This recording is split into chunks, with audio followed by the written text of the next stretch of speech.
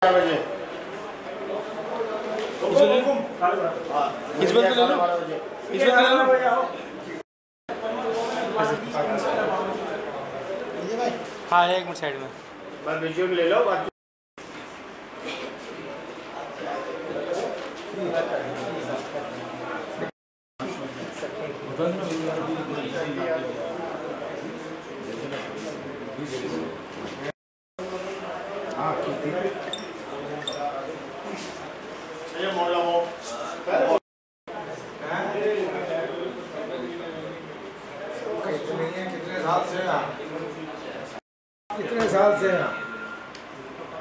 कितने साल से आ जाओ आ जाओ फॉलो मीडिया वाला इंडियन आ जाओ मीडिया वाला आप आ जाओ क्या?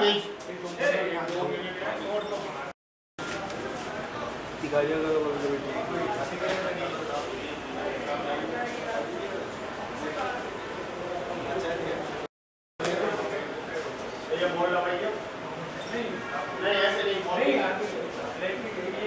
आप या खड़े रहो। में अब तो ट्रांसफर्स का सीज़न है तो ट्रांसफर्स ही ज़्यादा आ रहे हैं। कुछ और भी उसके आ रहे हैं। एक को आर्थिक मदद की ज़रूरत थी किसी को कोई नौकरी की ज़रूरत थी पर ज़्यादा ट्रांसफ़र किए गए स्थानांतरण चाहने वाले विभिन्न विभागों में ज़्यादा लोग आ रहे हैं। स्थानांतरित अगर क्राइटेरिया में आ रहे हैं उनके वाजिब हैं परेशानी है तो निश्चित रूप से उनकी इस काम के अंदर मदद करेंगे।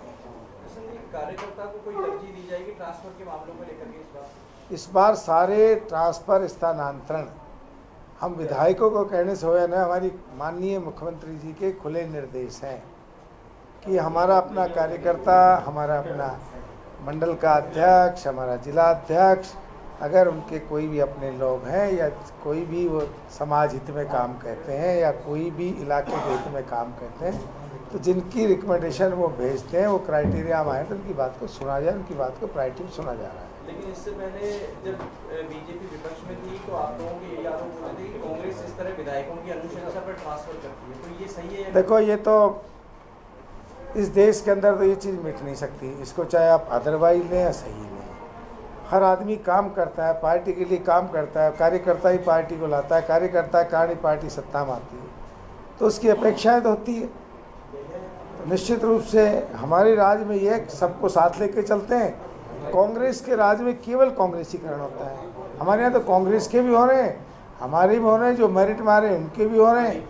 जो डिजर्व परेशानी है उनकी परेशानी को दूर किया सबको दिया जा रहा है। उनकी अपेक्षाएँ पूरी हो रही है? परंतु जिन जो उपेक्षा रहती है जिन लोगों की उनका क्या क्या उपेक्षा वालों को ही ज़्यादा हम तरजीह दे रहे हैं।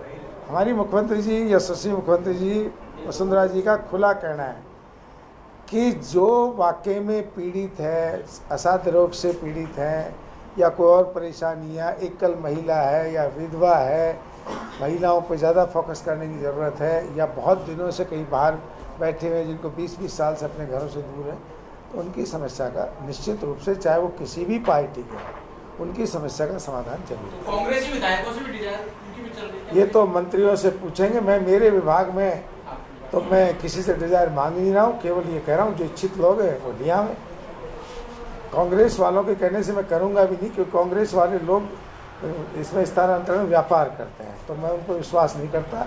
जब उनके समय में था तो उन्हीं के ट्रांसफ़र होते थे जो उनके लोग उनको पैसा दिल्ली दे देते थे। आप खुद भी कांग्रेस में रहे क्या तब भी ऐसा नहीं मैं जब कांग्रेस में रहा था बहुत पुरानी बात है तभी ट्रांसफ़र मैं, मैं किसी को जानता नहीं हूँ दिल्ली से आके चुनाव लड़ा था।